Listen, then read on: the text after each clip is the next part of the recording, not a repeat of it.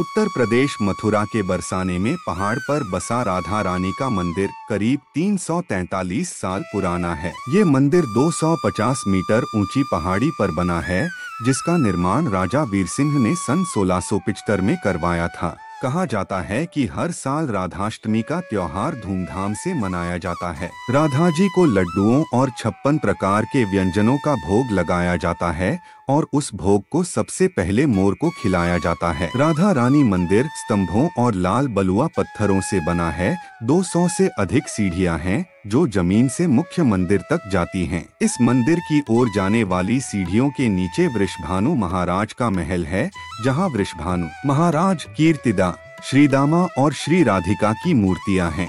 सनातन धर्म की सुंदरता देखकर आपको कैसा लगा ज़रूर बताएँ और ऐसी ही और वीडियो देखने के लिए चैनल को सब्सक्राइब करें। जय हिंद, जय श्री राम।